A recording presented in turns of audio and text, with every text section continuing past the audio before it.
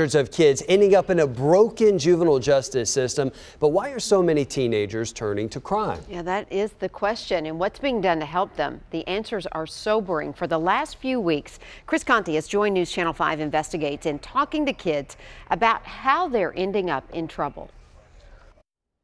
For weeks now, we have been showing you how broken our juvenile justice system is and how it got that way. But what about the kids?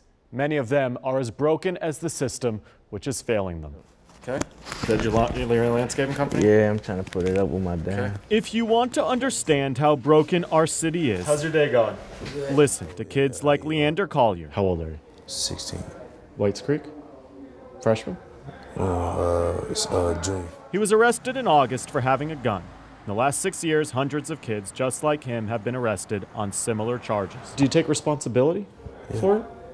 Yeah, I ain't gonna do, lie. do you, do you know you shouldn't have had the gun? Yeah, I know, but still at the end of the day, it's kind of like, you feel me, it is what it is. I regret it though. But there is something inherently sobering about this young man's reality. He didn't have a gun to commit a crime. He had a gun because he doesn't feel safe in our city. At 16, you felt like you needed to have a gun. What does that say about the city? It ain't safe. It really ain't. I mean, It's not ain't safe. no other way to put it.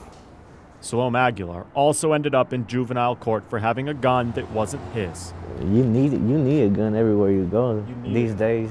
Why do you need a gun? hmm Because you're scared? Because what? I ain't scared of nothing, but just for protection. You you know how natural begin. Why did you turn to crime? Why did you do bad things? Why did I do bad things? Like I said, me myself, why I did bad things, it's because I chose to. It is sobering to listen to these kids talk, but there are programs out there trying to help catch teens who have slipped through the cracks. Broken, Searching for Solutions will be available online this afternoon and on air tonight at 6 o'clock.